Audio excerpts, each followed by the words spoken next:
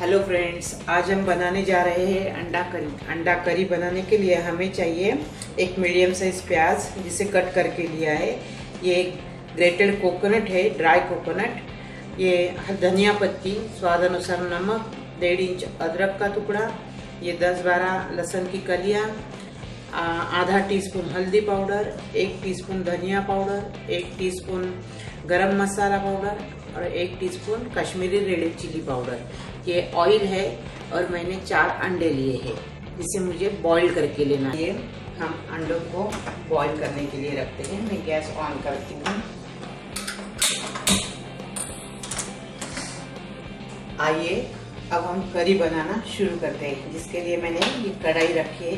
Gas on करती हूँ। जिसमें पहले मुझे ये ग्रेटेड कोकोनट है। इसे भून के लेना है। अभी हमारा कोकोनट मुझे तैयार हो गया है जिसे मैं निकाल लेती हूँ और मुझे उसमें प्याज डालना है अब हम प्याज को भून लेते हैं प्याज में कढ़ाई में डालती हूँ उसमें मुझे थोड़ा सा ऑयल डालना है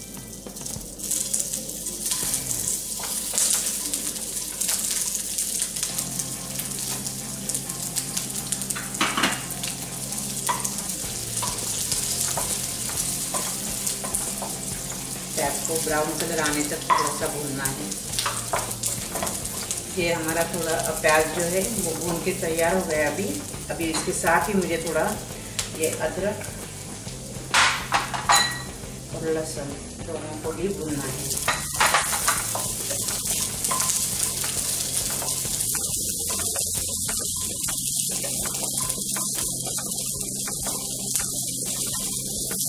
ऐसा करने से मसाले का जो कच्चापन है, वो निकल जाता है और उसका टेस्ट बहुत ही अच्छा आता है।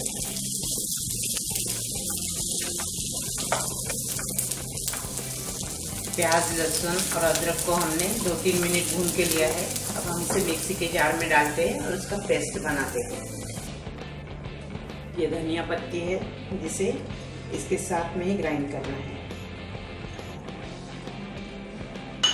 और इसके साथ में थोड़ा सा नमक डालना है, मसाले का ही नमक डालना है। अब हम कढ़ाई में तीन टेबल स्पून ऑयल डालते हैं।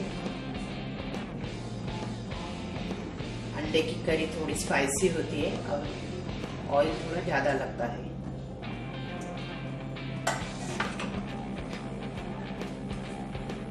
ऑयल गर्म हो चुका है। ये हमारी पेस्ट है, जो हमने प्याज, लहसुन, अदरक, धनिया और कोकोनट, ड्राई कोकोनट को भून के लिया था। उसका पेस्ट है, ये मैं ऑयल में डालती हूँ। अभी ये पेस्ट को हमें अच्छे से भून के लेना है। अब ये हमारा मसाला भून के तैयार हो चुका है। मसाले ने ऑयल छोड़ना शुरू करा, कर दिया है। अब हम उसमें बाकी के ड्राई मसाले डालते हैं। ये हल्दी पाउडर है। आधा teaspoon Kashmiri red chili powder एक टीस्पून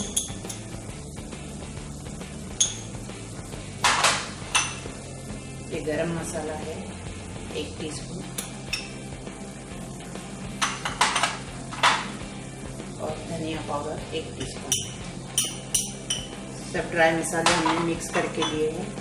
ये नमक है, स्वाद अनुसार।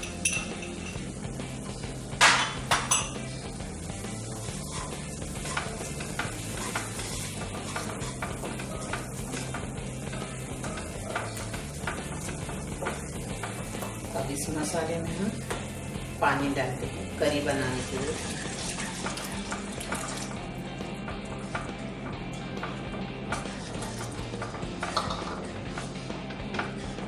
करी का थिकनेस ये मैंने एक कप पानी डाला है और आधा कप पानी में डालती हूँ। करी का थिकनेस आपको जैसा चाहिए, उस हिसाब से आप पानी डालिए। ये मैंने डेढ़ कप पानी डाला है। हम करी को बॉईल होने देंगे। ये हमारी ग्रेवी अभी तैयार हो गई है। करी ने ऑयल छोड़ा है। इसका मतलब ग्रेवी पूरी तरह से रेडी हो गई है। अब हम उसमें ये मैंने अंडे के पीसेस करके लिए हैं बॉइल्ड अंडे के, वो डालती हूँ।